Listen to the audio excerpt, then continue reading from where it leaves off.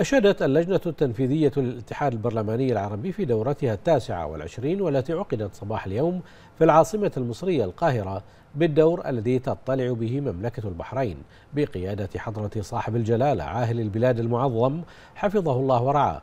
في دعم مسيرة العمل البرلماني العربي المشترك. وأعربت الوفود البرلمانية للدول الأعضاء في اللجنة التنفيذية للاتحاد البرلماني العربي عن شكرها وتقديرها للسلطة التشريعية بمملكة البحرين على الجهود التي تبذلها لدعم عمل الاتحاد من خلال ترأسها لأعمال الدورة الحالية ممثلة بمعالي السيد أحمد بن سلمان المسلم رئيس مجلس النواب. من جهته نقل سعادة السيد أحمد عبد الواحد قراط النائب الثاني رئيس مجلس النواب رئيس الوفد المشارك. تحيات معالي رئيس مجلس النواب رئيس الاتحاد البرلماني العربي للمشاركين في الاجتماع. وتأكيد معالي على أهمية العمل على تحقيق المزيد من الإنجازات للاتحاد بما يحقق تطلعات الدول الأعضاء. مؤكدا على التزام الشعب البرلماني لمملكة البحرين بدعم القضايا العربية.